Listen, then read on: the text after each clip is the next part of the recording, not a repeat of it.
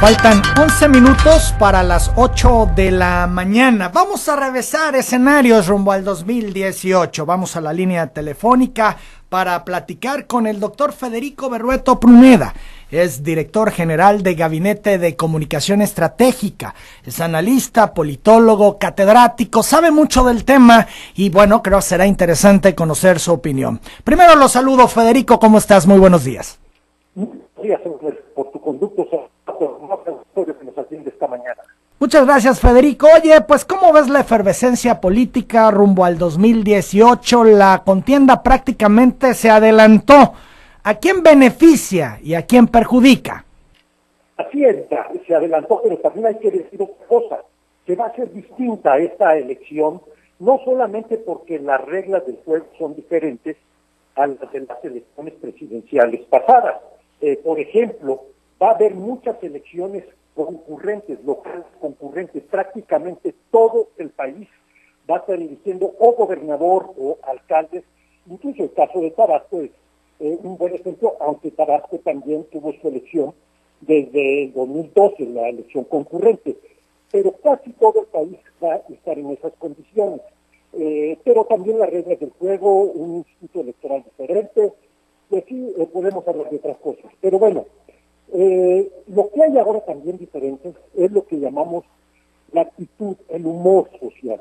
Hay un desencanto con lo que han hecho los partidos históricos tradicionales, el PAN, el PRD y el PRI, y que surge como una opción muy atractiva, con todo y que su figura más emblemática, el licenciado López Obrador, ha sido candidato presidencial en dos ocasiones anteriores, de cualquier forma, eh, Morena se ve como una opción diferente, distinta, y esta opción es la que está capitalizando lo que ahora es ese descontento, ese desencanto, esa insatisfacción, no solamente con el gobierno, sino también con los partidos históricos. Un candidato antisistema, Federico, es lo que está de moda, lo hemos visto ya en otros países. Exactamente, pero mira, es un caso curioso, porque si bien es cierto que la eh, retórica de Andrés Manuel López Obrador es muy de, muy frontal, muy de denuncia, sobre todo en el tema de la corrupción, también es cierto que es eh, una opción porque está dentro de las instituciones, es decir, es un partido político, tiene un registro formal, no es, digamos, un candidato independiente, como pudiera ser más bien un candidato antisistémico. Entonces, más bien yo lo que calificaría es la combinación de antisistémico con radical. Y eso es lo que ahora está funcionando, no solamente por la simpatía que pudiera tener Andrés Manuel o Morena en sus propios términos, sino también por este desencanto. Es decir, muchos están decididos a explorar nuevas opciones, opciones diferentes para ver si las cosas cambian. Estamos platicando con el doctor Federico Berrueto de Gabinete de Comunicación Estratégica. Federico, ¿será una elección entre dos o se irá a tercios? Yo, mira, creo que la situación en estos momentos de es eh, sumamente comprometedora. Eh, es decir, eh, lo que estamos viendo, y no nada más en términos de encuestas, sino de resultados electorales, lo que ocurrió en las pasadas elecciones de junio, del año pasado, eh, vimos cómo el PRI le fue bastante mal en casi todos los estados.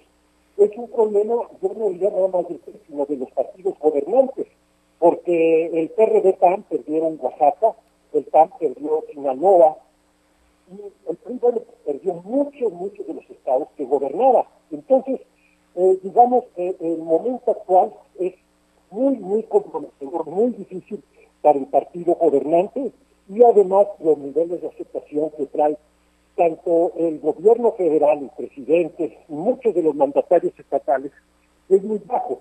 Entonces yo no vería que el PRI está en su mejor momento no lo indicaría ni siquiera en segundo lugar. Eh, yo eh, prevería, todavía hay que ver el desenlace de lo que sucede en el PAN, pero es posible que tengamos una competencia más entre el licenciado Andrés Manuel López Obrador y quien resulte candidato o candidata de Acción Nacional. ¿La elección en el Estado de México será definitoria para el 2018, Federico? Yo creo que va a ser muy importante, muy, muy, muy importante el desenlace de esa elección.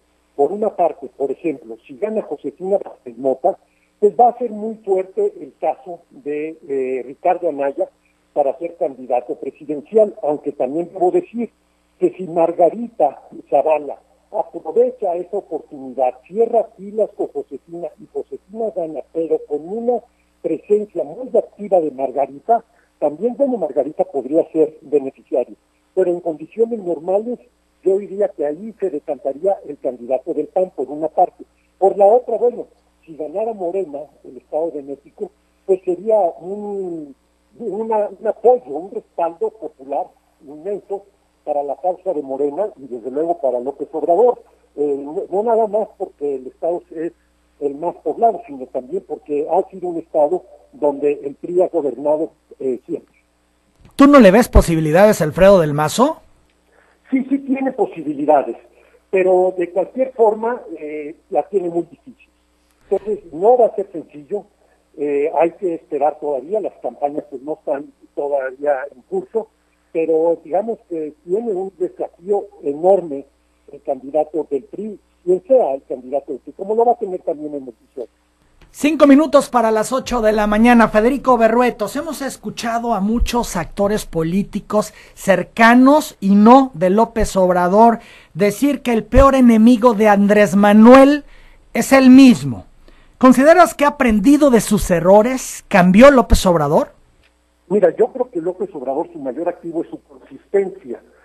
Y eh, hay quien, bueno, tendrá alguna reserva sobre la manera, sobre sus propuestas, sobre su forma de ser, pero algo que le ha ganado mucho a Andrés Manuel es que es un político eh, que se le caracteriza por su consistencia.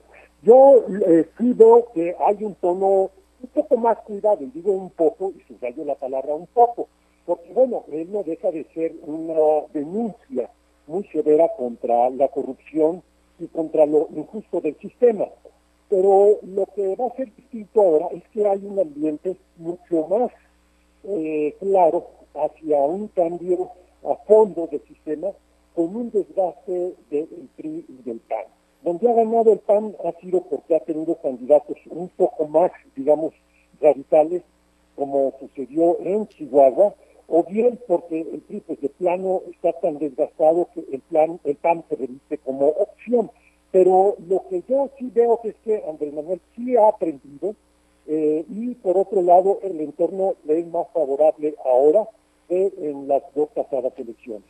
Ahora, creo que es importante, Federico, porque tú prácticamente eh, haces mediciones en todo el país, sondeos, encuestas, estás en contacto con lo que está pasando, la realidad.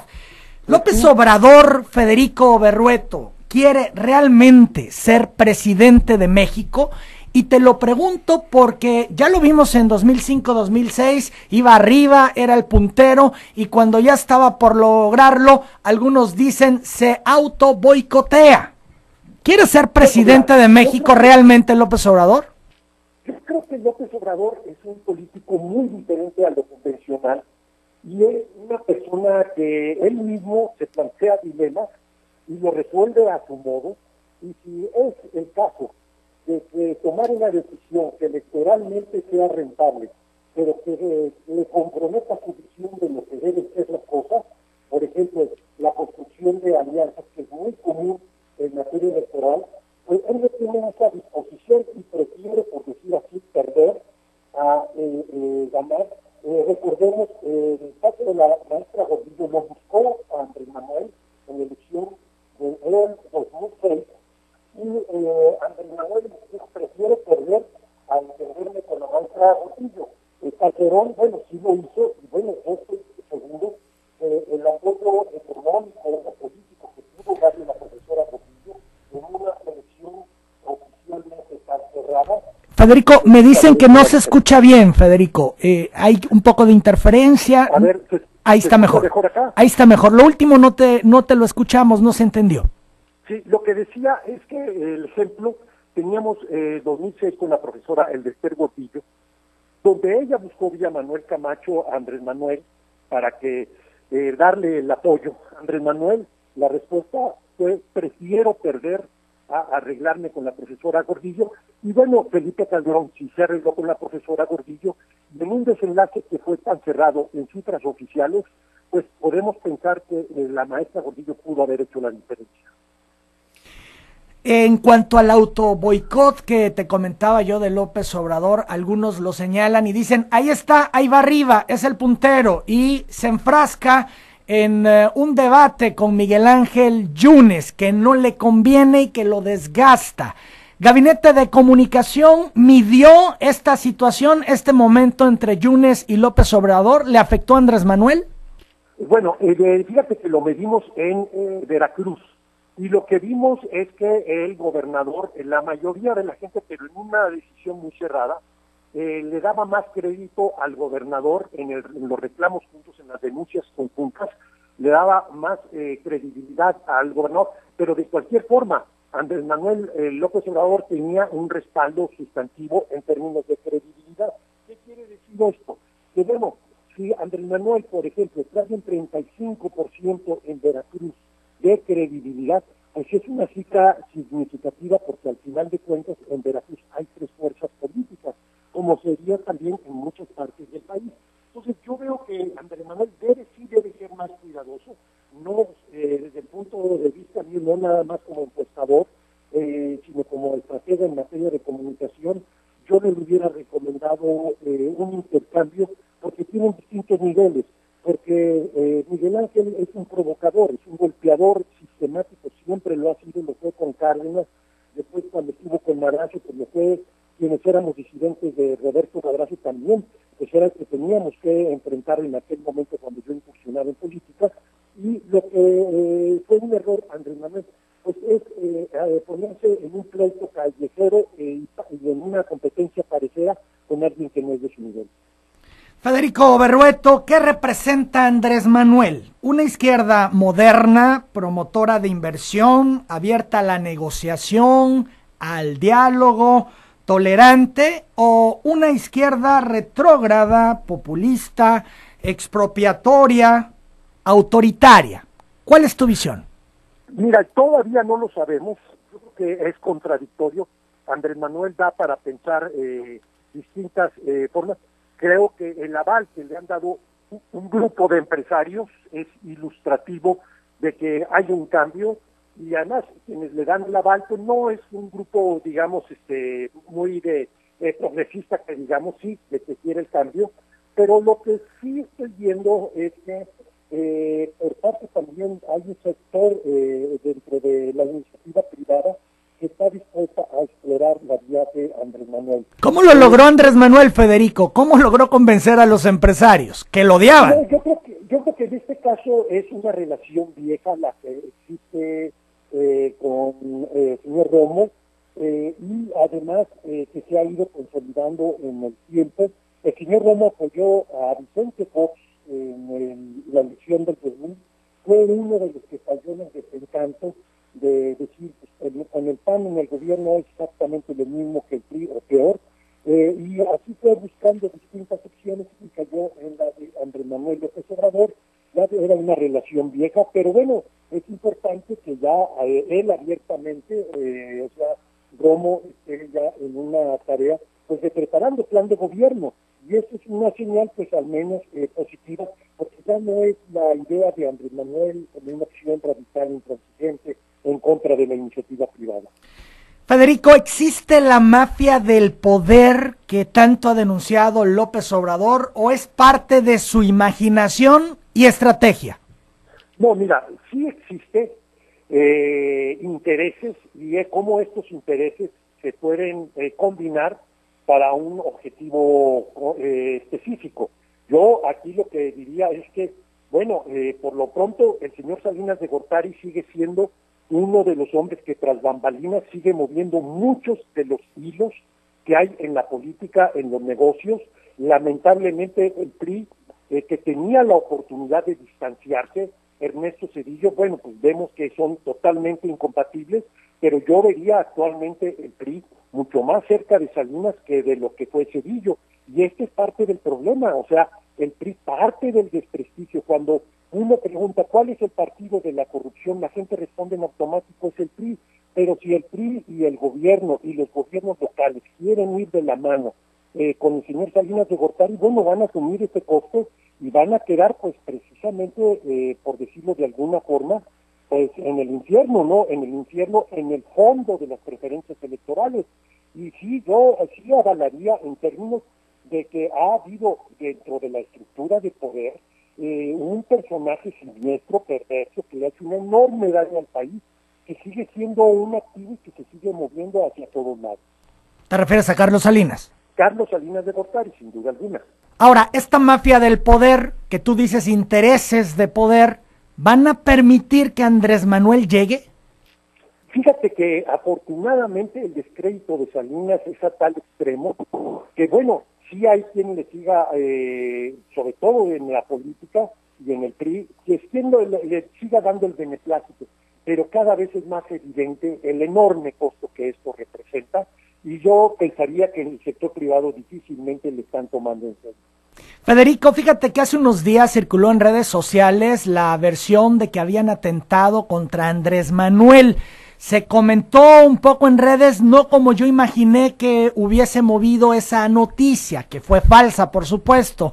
Pero esto, ¿cómo entenderlo? ¿Como un mensaje a López Obrador? ¿Lo están tratando de intimidar? ¿Le están diciendo, cuidado, Andrés Manuel? No, no, no lo creo.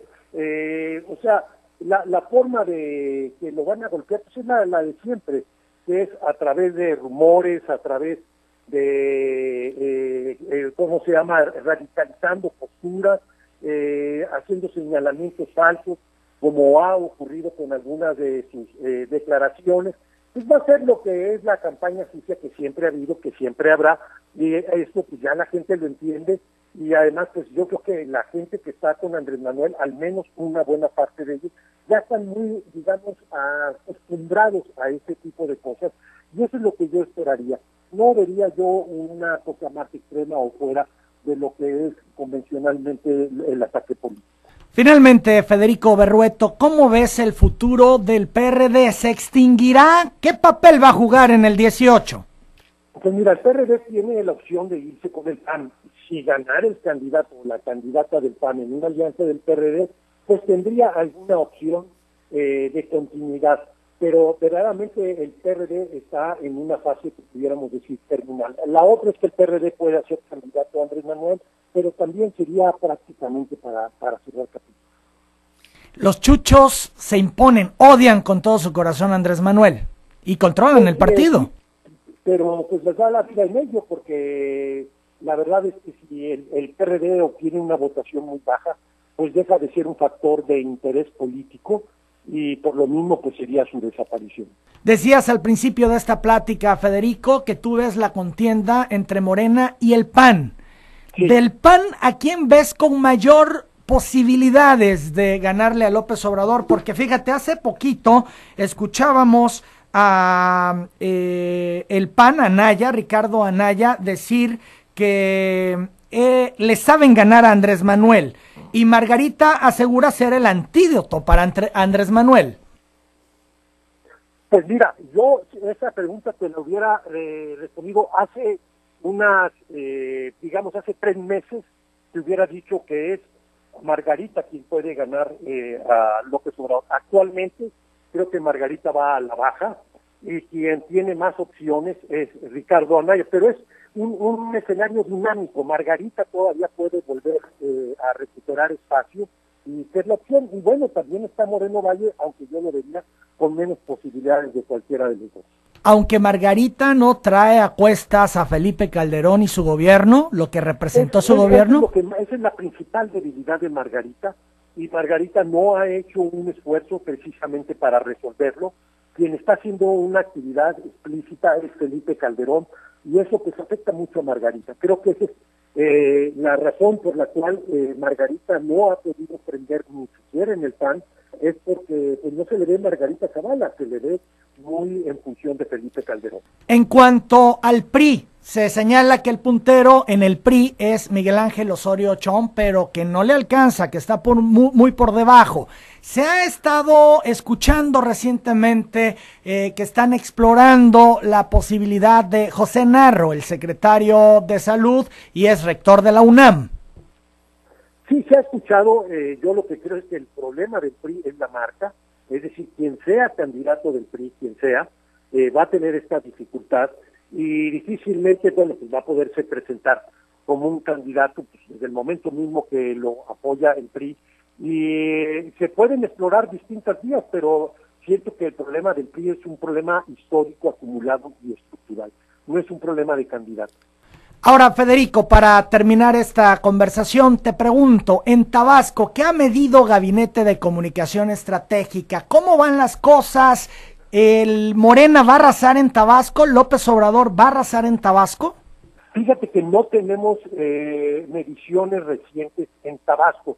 Lo que te puedo eh, decir por eh, los precedentes históricos, y no es una cuestión de encuestas, sino más que todo de análisis, que lo que se esperaría es que el candidato presidencial, al ser originario de esa entidad de Tabasco, eh, jalaría la votación de manera significativa. Mi previsión, y para esto no necesito hacer ninguna encuesta, es que el candidato Andrés Manuel López Obrador va a jalar la votación a favor de Morena y a favor, por lo mismo, de su propio eh, candidato a gobernador. En otras palabras, sí prevería yo un triunfo de Morena en Tabasco. El efecto López Obrador a todo lo que da en Tabasco.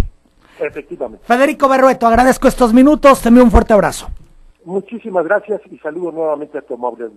Gracias, buenos días. Son las 8 de la mañana, 10 minutos. Es el doctor Federico Berrueto Pruneda, director general de Gabinete de Comunicación Estratégica, analista, politólogo, catedrático, recoge encuestas prácticamente en todo el país, hace sondeos, está metido de lleno y, bueno, pues creo interesante lo que nos ha compartido esta mañana en telereportaje. En la unidad oftalmológica Moreno.